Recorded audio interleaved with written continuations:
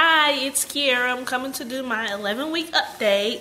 So today I am 11 weeks and one day, and every Saturday is um, my days to be another week. So um, yeah, this week has been pretty interesting. Um, I am, let's talk about symptoms. Let's start with those first because those are always a pain in the butt.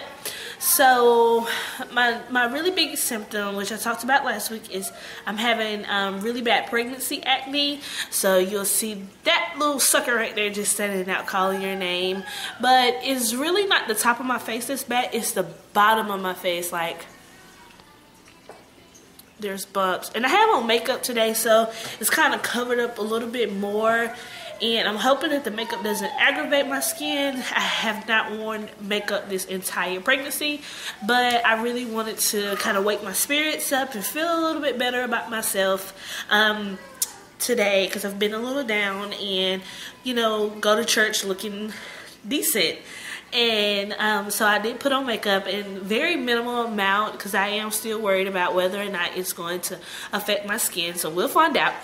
But so what I'm using for the um, to wash and cleanse my face is I do wash my face uh, twice a day and I was using Aveeno but as the seasons change my skin changes so I do have to switch it up so I wanted to use uh, Cetaphil However, it's really expensive and I'm on, on, a strict budget here. So I decided to go with the Equate version, which if you guys will always look and read the difference between the generic and the name brand, they're usually the same thing. I do still have a mental thing with wanting to buy name brand stuff, but the Equate was much cheaper and I got way more. So I did get the Equate version of Cetaphil and it's a gentle facial wash and I used it. I combined that with baking powder, uh, baking soda, and I do that the, with the baking soda just once when I'm in the shower at night, and then I just wash my face with Equate in the morning, and then I use witch hazel as like my toner, if you will, and I really like that, and you know, I feel like it it really helps to kind of just get all the rest of the extra dirt off, and then I use a, I do use Cetaphil's moisturizer with SPF 50. The sun really affects my skin. So, oh, ball. Caleb, wanna come say hi? Get the ball. Get the ball. So, sorry about that. Um, so yeah, that that's one pregnancy symptom. The next one is constipation. Um, I am I'm very constipated, and I talked about that with my prenatal vitamin. A lot of times that will have an effect on your tummy, especially if you've had previous tummy issues. Sorry, but Caleb wants to play ball right now.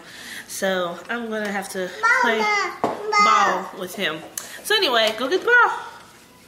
So yeah, tummy issues. I went like four days without being able to use the bathroom. It's very uncomfortable, so I ordered me some probiotics, which are not here yet. Um, matter of fact, I don't even know if I actually did the order yet. I don't think I did, so I need to do that um, to help clean up my system and make me more regular and so I don't feel so bloated. And I, I am. I'm really bloated, and I'm very uncomfortable and very. It's just it's just not a good feeling. To, okay, so I had to take a little break and play with Caleb for a minute, but now he's back with his brother, so I can finish this video hopefully. So yeah, I was start. I was talking about constipation, probiotics, and all that stuff. My other symptom is I'm still having the pregnancy headache. So people who are um, prone to having migraines before pregnancy, they do intensify during pregnancy. So just keep that in mind. I did have migraines before pregnancy. My migraines had um, really been lying dormant for a while, and I had not had to deal with them for quite some time. And I, I you know, I conclude that because I was living a gluten-free lifestyle, I was really watching the things that I was eating and making the appropriate changes and my headaches went away. However, since I became pregnant, although still eating very healthy, the headaches have started to come back. And although they're not very intense, they're there. They're dull. They're they're annoying. So uh, I haven't I've been drinking coffee for it, but this week I really didn't feel like drinking coffee. I'm not a big coffee drinker, so uh, I didn't feel like drinking coffee, so I haven't been drinking a coffee, and I've just been kind of dealing with them. But I don't know if, it, if I have one tomorrow, I'll drink some coffee.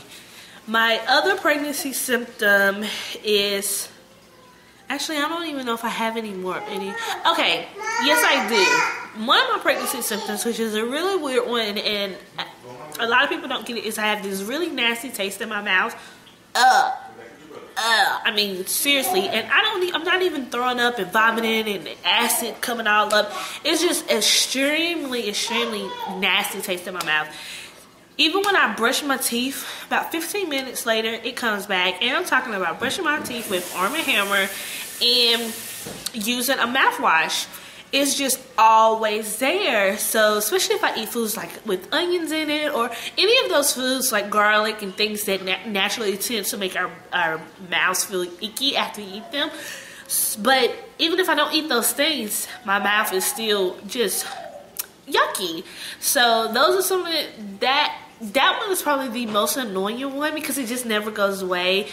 And like chewing sugar-free gum will also cause bloat. So I have this long list of foods that cause bloat that I'm trying to avoid, which I'll share that list with you by the way. Um, just yeah, I'm trying to avoid, and sugar-free gum is one of those things. So I did snack on a peppermint last week, but honestly, those things really don't help. They say to like eat citrus, citrusy fruits, drink a lot of water, eat pickles, and brush your teeth. But honestly, none of that stuff has really helped it to go away. so yeah, um, I have not been to the doctor this week. I will go next. Uh, I haven't went last week, but I will go to the doctor on Thursday. So I may or may not take my camera with me. I don't know. This is a new doctor, so I don't know how comfortable he, he's going to feel with that. But I'm definitely going to have it for the ultrasound, which I should let you know we're not finding out the sex of this baby. So we'll just have to get a little creative and see what you guys think we're having. I don't want to make this video too long, so I'm not in any maternity clothes. Oh, I've lost another pound. I did lose a pound this week. So I guess I should tell you like what my weight is. So I'm down to 219. So 219 is my weight. I'm 5'2", down to 219, so I weighed myself. So I have lost a pound. And I would like to continue to lose the uh, as much weight as safely, as long as baby continues to grow. My doctor it's completely okay. So I will continue to do that. And just, you know, continuing to eat, eat very healthy. So thanks. And let me show you my belly. Now, I have on my pajamas. I did have on a really cute little outfit earlier, and I really wanted to do that video with the outfit on, but I wanted to come home and just take my clothes off and just get comfortable. So I didn't even care that I was doing this video, and I'm doing it in my pajamas. So I won't be able to show you the bare skin because my pajamas is like a dress. So can you see that? I don't have a bra on either, so Still nothing really there, although I am quite bloated. Yeah, quite this better. So, front, side.